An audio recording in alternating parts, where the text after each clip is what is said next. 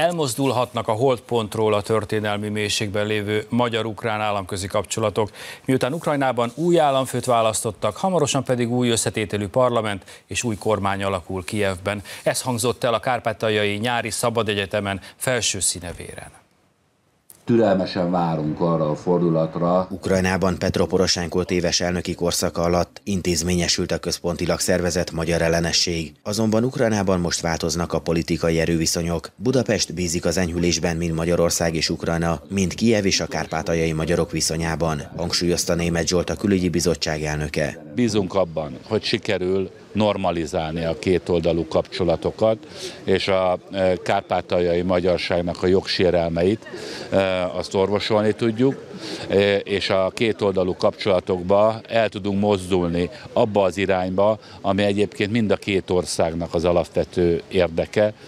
Kárpátalja fejlődése, a határok átjárhatósága, egy nagyon pragmatikus és a két ország érdekeit messze menőleg figyelembe vevő fejlődési lehetőség előtt állunk. Brenzovics László a KMKSZ elnöke, az ukrán parlament képviselője hangsúlyozta, Ukrajnának valamennyi szomszédjával van kisebb vagy nagyobb mértékű konfliktusa. Ezeket Kijevnek nem lesz egyszerű rendeznie. Most egy parlamenti választások előtt állunk, ahol meglátjuk majd milyen lesz a parlamentnek az összetétele, hogy fog-e ez jelentős mértékig változni. Már változott, talán a hangsúlyok kicsit áthelyeződtek, azonban ez mindenképpen lassú folyamat lesz. Nekünk ezt türelmesen ki kell várnunk, és arra kell törekednünk, hogy továbbra is védjük azokat az eredményeinket, amit elértünk az elmúlt évtizedekben, és elősegítsük a két ország viszonyának a javulását, de nem úgy, hogy feladjuk elveinket.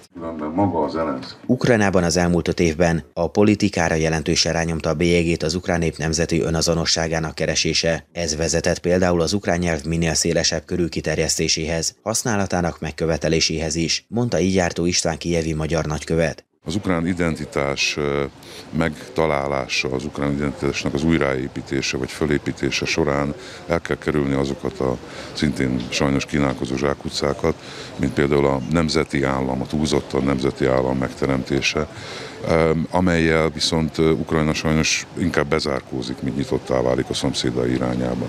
Tehát amennyiben ez változik, és most van rá remény, hogy ez változzék, és egy sokkal nyitottabb, rugalmasabb ukrán politizálás indul meg a szomszédok irányába, akkor ez a ez az együttműködés, ez, ez nagyon nagy perspektívákat hordoz magában. Magyarországnak a pozíció... Ukrajna legfőbb külpolitikai célja a NATO és az Európai Uniós integráció. Az ezzel járó kötelezettségeket és értékrendszert azonban Kijev nem hajlandó minden szinten elfogadni és alkalmazni. Ilyen például a nemzeti kisebbségek jogainak biztosítása és védelme. Egy türelmi időt kell adni az új vezetésnek, de azt gondolom, hogy a magyar kormány világosan megfogalmazta mind Ukrajna, mind az Európai Unió irányába és a NATO irányába is, hogy milyen feltételekkel tudja támogatni Ukrajnának az euróatlanti integrációját. Ez egész bizonyosan nem fog változni.